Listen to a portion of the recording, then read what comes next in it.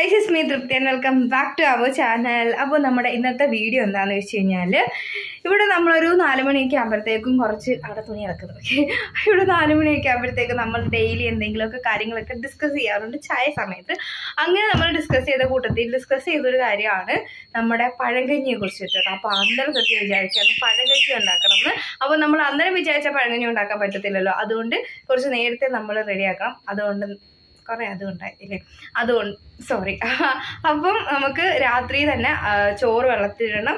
ബാക്കി കാര്യങ്ങളൊക്കെ നമുക്ക് രാവിലെ ചെയ്യാം. ഞാൻ പറഞ്ഞത് ഇവിടെ കുളവാക്കുന്നില്ല. പിന്നെ നമ്മുടെ കുറച്ച് അല്ലറ ചില്ലറ ജോലി വിശേഷങ്ങളെല്ലാം കൂടി ഇൻക്ലൂഡ് ചെയ്തിട്ടുള്ള ഒരു വ്ളോഗാണ് നമ്മുടെ ഇന്നത്തെ വീഡിയോ എന്ന് പറയുന്നത്. നമ്മുടെ ചാനൽ ആദ്യമായിട്ട് കാണുന്ന ആരെങ്കിലും ഉണ്ടെങ്കിൽ ഉറപ്പായിട്ടും ചാനലൊന്നും സബ്സ്ക്രൈബ് ചെയ്ത് ശരിയോ ഉറപ്പായിട്ടും നമ്മുടെ ചാനൽ സബ്സ്ക്രൈബ് ചെയ്ത് സപ്പോർട്ട് ചെയ്യണേ. അപ്പോൾ വേഗം തന്നെ വീഡിയോ സ്റ്റാർട്ട് ചെയ്യാം.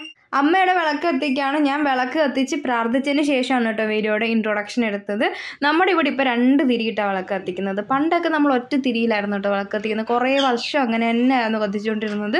അങ്ങനെ ഇരുന്നപ്പോഴാണ് ഞാനിങ്ങനെ ഒരു ബുക്കിൽ വായിക്കുന്നത്. നമ്മൾ ഓരോ തിരി ഒരു തിരി രണ്ട് മൂന്ന് നാല് അഞ്ച് ഇങ്ങനെ ഓരോ തിരിയിട്ട് നമ്മൾ വിളക്ക് കത്തിക്കുന്നതിന്റെ പിന്നിൽ ഓരോരോ ഐതിഹ്യങ്ങളുണ്ട്. അങ്ങനെ ഞാനിങ്ങനെ നോക്കിയപ്പോഴാണ് ഒറ്റ തിരിയിട്ട് കഴിഞ്ഞാൽ അതിനർത്ഥം വീട്ടിൽ ദാരിദ്ര്യം മാറത്തില്ല എന്നൊരു സംഭവമാണ്. അപ്പം നമ്മുടെ ഐശ്വര്യത്തിന് നല്ലത് വീട്ടിൽ രണ്ട് തിരിയിട്ട് വിളക്ക് കത്തിക്കുന്നതാണ് അതിനുശേഷം പിന്നെ നമ്മുടെ വീട്ടിൽ രണ്ട് തിരിയിട്ടാണ് ഡെയിലി ഇപ്പോൾ വിളക്ക് കത്തിക്കാറുള്ളത് ഇപ്പോൾ കുറേ നാളായിട്ട് അങ്ങനെ തന്നെയാണ് കേട്ടോ വീട്ടിൽ വിളക്ക് കത്തിക്കുന്നത് പിന്നെ നമുക്ക് നമുക്കല്ല എനിക്ക് കുറച്ച് ജോലി ബാക്കിയുണ്ടായിരുന്നു രാവിലെ ആയിക്കഴിഞ്ഞാൽ ഞാൻ ഒന്നും ചെയ്യത്തില്ല കേട്ടോ. ഇങ്ങനെ ഇങ്ങനെ മടി പിടിച്ച് മടി പിടിച്ച് മടി പിടിച്ചിരിക്കും. ചെയ്യണം എന്ന് മനസ്സിൽ കാണും ഓരോ ദിവസം ഓരോന്ന്. പക്ഷേ പിന്നെ വിചാരിക്കും നാളെ ആവട്ടെ. ഇന്ന് നാളെ തൊട്ട് പുതിയ ഒരാളായിട്ട് ഞാൻ മാറും എന്ന് ചിന്തിക്കും. പക്ഷെ രാവിലെ എന്റെ പണിയൊന്നും നടക്കാത്തതുകൊണ്ട് ഞാൻ വിചാരിച്ച് ഷോ കേസ് വൃത്തിയാക്കാമെന്ന് ഷോ കേസിലെ സാധനങ്ങളെല്ലാം ഞാൻ എടുത്ത് വേറൊരു റൂമിലോട്ട് മാറ്റി മാറ്റിയിട്ട് ഷോ കേസ് ഒന്ന് തുടച്ച് വൃത്തിയാക്കി ആ സാധനങ്ങളെല്ലാം പൊടി പിടിച്ചിരിക്കുകയാണ്. അതെല്ലാം തുടച്ച് വെക്കാമെന്ന് വെച്ച്. പിന്നെ നമ്മൾ രാത്രി എല്ലാവരും അത്താരമൊക്കെ കഴിച്ചിട്ട് കുറച്ച് ചോറ് നമ്മൾ ഇട്ട് വെച്ച്. നാളെ രാവിലെ പഴങ്കഞ്ഞിക്ക് വേണ്ടിയിട്ട് കുറച്ച് വെള്ളം ഒഴിച്ച് നമ്മൾ ഈ എന്താണ് കൊച്ചുള്ളിയും അരിഞ്ഞിട്ടിട്ട് വെച്ചു. രാവിലെ ഞാൻ എണ്ണീറ്റത് തന്നെ പഴങ്കഞ്ഞി കഴിക്കണം എന്നുള്ള ഒരൊറ്റ ചിന്തയിലാണ് കേട്ടോ. അമ്മ കാലത്ത് ബ്രേക്ക്ഫാസ്റ്റ് ഉണ്ടാക്കി ചപ്പാത്തിയും ചിക്കനും ആയിരുന്നു കേട്ടോ രാവിലത്തെ ബ്രേക്ക്ഫാസ്റ്റ്. അപ്പോൾ ഞാൻ പക്ഷേ എനിക്കിന്ന് പഴങ്കഞ്ഞിയാണ് എന്റെ ഫേവറേറ്റ്. ഞാൻ അത് കഴിക്കാൻ തന്നെ ഇരിക്കുകയാണ്. പിന്നെ ഞാൻ അവിടെയൊക്കെ ജസ്റ്റ് ഒന്ന് ഇളം വെയിൽ കൊള്ളാനായിട്ട് ഞങ്ങളുടെ വീടിന്റെ തൊട്ട് സൈഡിലോട്ട് ഒരു ഇടവഴിയുണ്ട്. ഈ ഒരു ഇടവഴി നേരെ പോകുമ്പോഴാണ് അംഗൻവാടിയുണ്ട്. പിന്നെ കുറേ വീടുകളൊക്കെ ഉണ്ട്. എന്റെ നേരെയുള്ള നേരത്തെ വീഡിയോസ് കണ്ടവർക്കൊക്കെ അറിയാം ഇവിടെ ഒരു അംഗൻവാടിയൊക്കെ ഉണ്ടെന്നുള്ളത്. പിന്നെ ഞാൻ മുറ്റത്ത് ഇറങ്ങി നിന്നത് കുറേ പട്ടിശയൊക്കെ കാണിച്ച് അന്യനെ പോലൊക്കെ നിന്ന് എന്റെ മുടിക്കൊന്ന് വെയിൽ കൊള്ളിച്ചാണ് കേട്ടോ. അതായത് അല്ലെങ്കിൽ കുളിയും തന്നെ ഒന്നും ഇല്ല. അപ്പോൾ പിന്നെ വെയിൽ കൊള്ളിച്ചിട്ടൊന്ന് സെറ്റാക്കാമെന്നൊക്കെ വിചാരിച്ചിട്ട് ചെയ്തു. പിന്നെ ഞാൻ ചായ കുടിച്ചു. ഇതെന്റെ രണ്ടാമത്തെ ചായയാണ്. ചായയൊക്കെ കുടിച്ചിട്ട് പിന്നിനി നമുക്ക് അടുത്തത് നമ്മുടെ കഞ്ഞി കുടിക്കാനായിട്ടുള്ള കാര്യങ്ങളൊക്കെ ചെയ്യണം. അപ്പോൾ ഒരുപാട് കഞ്ഞിക്ക് കറികളോ സംഭവങ്ങളോ ഒന്നും ഇല്ല കേട്ടോ. നമ്മുടെ വീട്ടിലുള്ള കറികളൊക്കെയാണ്. അപ്പോൾ ഇന്നലെ നമ്മുടെ വീട്ടിൽ അയിലായിരുന്നു മീൻ അപ്പോൾ അതിന്റെ മീൻ കറിയുണ്ട് അങ്ങനത്തെ ഒരു കൊച്ചു രീതിയിലുള്ള ഒരു പഴങ്കഞ്ഞിയാണ് കേട്ടോ. ഒരു പ്രൊഫഷണൽ പഴങ്കഞ്ഞി ഒന്നുമല്ല. സാധാരണ ഒരു വീട്ടിൽ പഴങ്കഞ്ഞി എങ്ങനെയാണോ ആ പോലത്തെ പഴങ്കഞ്ഞി ആയിരിക്കും ഇവിടുത്തെ പഴങ്കഞ്ഞി. അങ്ങനെ ഇത് അമ്മയുടെ കാന്താരി മുളകാണ് കേട്ടോ. അപ്പോൾ അതിനകത്തുനിന്ന് രണ്ട് മുളകൊക്കെ പിച്ച് മുളകൊക്കെ തിന്നാന്ന് വിചാരിച്ചിട്ട് മുളകൊക്കെ പിച്ച് നമ്മൾ എടുത്തിട്ടുണ്ട്. ഇനി നേരെ നമ്മൾ അടുക്കളയിലോട്ട് പോവുകയാണ്. അവിടെയാണ് നമ്മുടെ കഞ്ഞി ഇരിക്കുന്നത്. ഇതുവരെ പാത്രം ഞാൻ തുറന്നില്ല. ഇന്നലെ അടച്ചു വെച്ചിരുന്ന പാത്രമാണ്.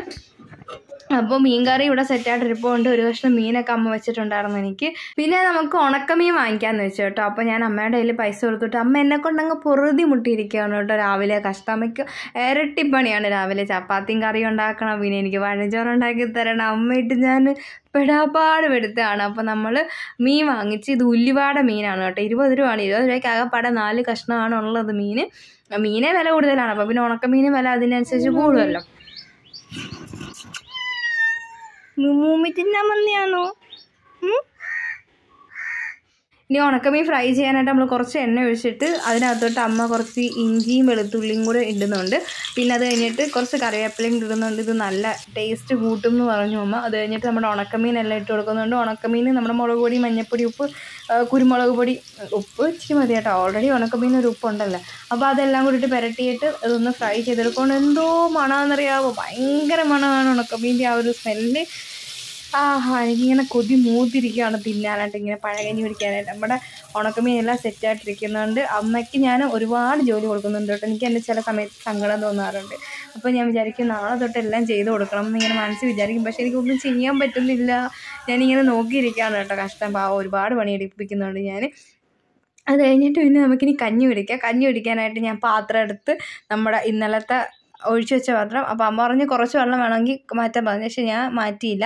ആ വെള്ളത്തിലിട്ട് കലമ്പി കലമ്പി കഴിച്ചാലേ അതിനൊരു രസം വരത്തുള്ളൂ.